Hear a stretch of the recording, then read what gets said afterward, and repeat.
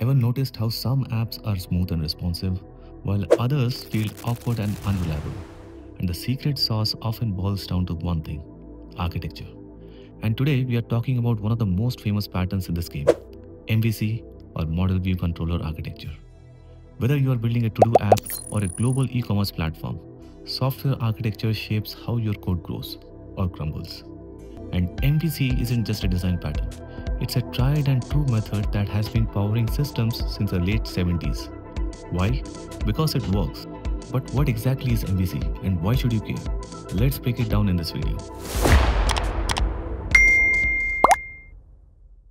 Imagine you're ordering a pizza online. The model is like the pizza kitchen. It holds the recipe and knows how to make the pizza. It manages all the behind the scenes data, your order details, toppings, and delivery time. In software, the model manages data, logic, and rules. Think of a pizza order class in Java. The model is the part of the application that knows everything about your data. It encapsulates the business rules, for example, calculating the price of the pizza, the state, for example, storing the pizza order details, and persistence, such as fetching data from your database. The model is smart when it comes to logic and data, but it doesn't care about who is using the data or how it is displayed. It just handles what needs to happen. Your app's view is like the pizza box. It shows you the delicious result but doesn't know how the pizza was made. The view handles everything visual. Think of it as the face of your app, what your users see and interact with. The view is only concerned with the presentation. It takes the data prepared by the model and formats it for the user. It doesn't care where the data comes from, how it was calculated, or what logic was involved. Its job is simple to look good and keep the user happy. And here is a simple command line view. The pizza view class here has a single responsibility to take data, like the details of an order, and present it in a way that's easy to understand. In this case, it's just printing the data to the console. No calculations, no database queries, no logic for how the price was determined.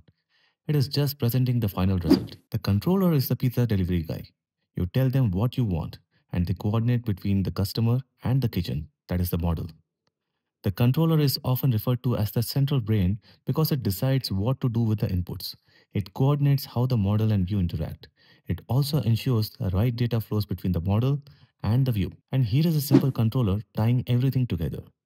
Now, while the controller doesn't have the depth of logic, the model has. Controller is the coordinator. It directs traffic and decides how things should interact. The controller manages input, processing requests, and updating views.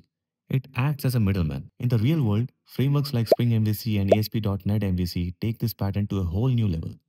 For instance, Spring MVC uses controllers to manage web requests, model for business logic, and views for rendering HTML templates. This clean separation allows teams to work in parallel, speeding up development. But like pizza, not all MVC implementations are well done. Sometimes things get messy and your code base ends up feeling like a burnt crust. Hard to chew and impossible to fix. But don't worry, let's talk about three common mistakes and how you can avoid them. First up is the fat controller. Think of this as the pizza delivery guy who tries to cook the pizza, answer customer calls, and fold the boxes all at the same time. But you know what? It doesn't end well. Similarly, in the MVC world, controllers often fall into this trap. They start innocent, just handling requests and passing data between model and the view. But then, someone sneaks in some logic. Oh, let's calculate discounts here. Or why not handle database queries here too?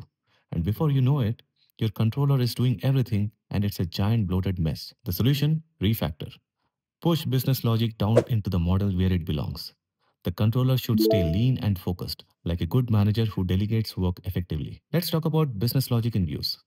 That is another major red flag. In MVC, the view is responsible for displaying data, not processing it.